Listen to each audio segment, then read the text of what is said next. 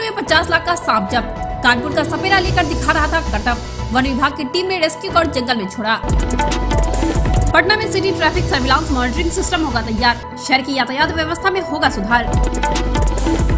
शहाबुद्दीन की बेटी की शादी संपन्न। विदाई की तैयारियाँ जारी। तेजस्वी पप्पू समेत तमाम नेता प्रतापपुर पहुँचे। देर रात धूमधाम से हुई हाई प्रोफ़ाइल शादी। अब आर्टिफिशियल इंटेलिजेंस से होगी पटना शहर की निगरानी। संदिग्ध लोगों की हो जाएगी पहचान। 2750 हाईटेक कैमरों से काम करेगा सिस्टम।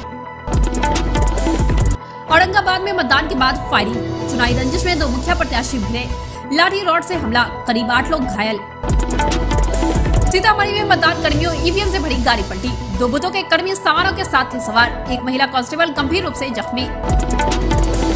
औरंगाबाद में मतदान के बाद फायरिंग चुनावी रंजिश में दो मुखिया प्रत्याशी भिड़े लाठी रॉड से हमला, करीब आठ लोग घायल।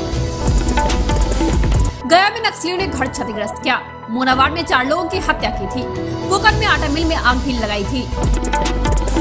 बगहा में तीन दोस्त हादसे का शिकार। एक की मौत बिना हेलमेट एक बाइक से जा रहे थे तीनों। बैलगाड़ी से टकरा गए। अब बिहार में विकसित होगी देसी चिकित्सा पद्धति। तीन हज़ार दो सौ सत्तर आयुष चिकित्सकों की होगी नियुक्ति। कोरोना काल में काम आई थी देसी चिकित्सा पद्धति।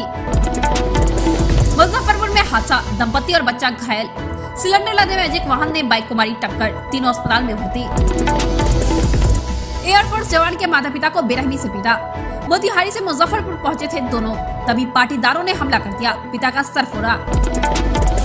नहाने के दौरान पोखर में डूबा युवक। मुजफ्फरपुर में 20 घंटे से एसडीआरएफ और स्थानीय गोताखोर कर रहे तलाश। अब तक नहीं मिला सुराग। मुजफ्फरपुर में अतिक्रमण पर मोहलत की मियाद खत्म। अब सख्ती की पारी सबसे पहले कंपनी बाग रोड पर कार्रवाई। अवैध कब्जे पर चलेगा नगर निगम का बुलडोजर। सुशांत सिंह राजपूत के दूर के पाँच रिश्तेदारों की मौत। लखीसराय में ट्रक जीप की टक्कर में छह की मौत। अंतिम संस्कार में शामिल होकर लौट रहे थे।